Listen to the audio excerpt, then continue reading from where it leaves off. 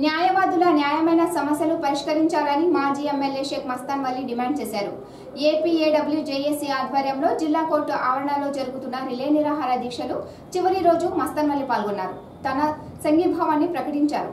ఈ సందర్భంగా మస్తాన్ వల్లి మాట్లాడుతూ న్యాయవాదుల సమస్యలను యుద్ధ ప్రాతిపదిక త్వరితగతిన పరిష్కరించాలని కోరారు. ఒకే ప్రాక్టీస్ ఒకే వెల్ఫేర్ విధానాన్ని అమలు చేయాలన్నారు. దీక్షలలో జేఏసీ చైర్పర్సన్ ఏకే లాలి న్యాయవాదులు సురేష్ తదితరులు పాల్గొన్నారు. India bar council of state ఉందో త్వరితగతంగా దీని మీద ఒక ఆలోచన చేయాల్సినటువంటి అవసరం ఉంది.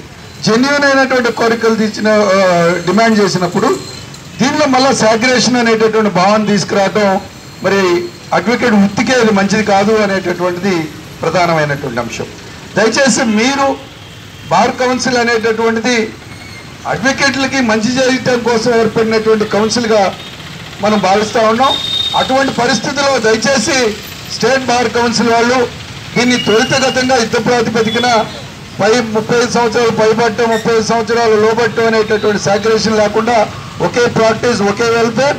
మరి అట్లానే చిన్న చిన్న కోరిక ఇవాళ మన లాయర్లకి ఏదైనా అకస్మాత్తుగా ఏదైనా ఇబ్బంది జరిగినప్పుడు వాళ్ళకి సంబంధించినటువంటి వెల్ఫేర్లో మనం అందరం కూడా ఒక కుటుంబం మనం అందరం కూడా ఒక ఆలోచనతో ప్రజల యొక్క అవసరాలకు అనుగుణంగా వృత్తి చేపట్టేటువంటి దానిలో ఈ సాక్యురేషన్ తీసుకురావడం అనేది దురదృష్టకరమైన సంఘటనగా భావించాలని చెప్పి డిమాండ్ చేస్తూ కాంగ్రెస్ పార్టీ పూర్తిగా ఇటువంటి చేపట్టినటువంటి Andhra Pradesh advocate welfare joint action committee వారికి పూర్తి సంఘీభావం తెలియజేస్తూ భవిష్యత్తులో కూడా ఇటువంటి సాక్యురేషన్ విధానాన్ని వ్యతిరేకించేటటువంటి ప్రక్రియలో కాంగ్రెస్ పార్టీ తమ వంతు సహాయ సహకారాలు అందజేస్తుందని తెలియజేసుకుంటూ మరి ఈ యొక్క అవకాశాన్ని కలిగజేసినటువంటి advocate welfare joint action committee వాళ్ళకు హృదయపూర్వకమైనటువంటి ధన్యవాదాలు తెలియజేసుకుంటా ఉన్నాను.